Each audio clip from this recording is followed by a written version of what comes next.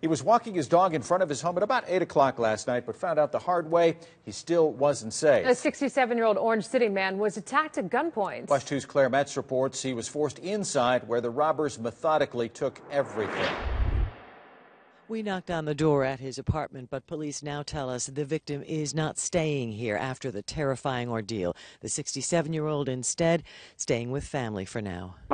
I was just robbed by gunpoint. Police say Richard Post went to his neighbors at the Oakshade Apartments to call for help after he waited to be sure two frightening armed men were gone. I was out walking the dogs, and the guy came up behind me. Those two of them, put a gun in my head, blindfolded me, took me in the house, and just ransacked it. Investigators say the suspects threw Post on the bedroom floor and for 15 minutes or so gathered valuables, including computers, an iPad and Kindle, his cell phones, wallet, and jewelry. So they stepped on his hands, took his watch off of him. So these guys are pretty vicious. They, they don't care about people.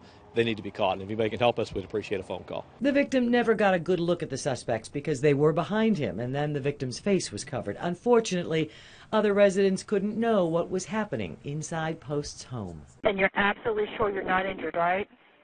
No, ma'am. I'm, I just got to calm down. I have a heart monitor, and it's Okay, I think you should maybe be checked out. Police searched by air, by ground, nothing. However, a canine unit followed a strong scent, the track from the victim's apartment all the way out here to Volusia Avenue. So the suspects likely came in this way and then left. In Orange City, Volusia County, Claire Metz, WESH 2 News.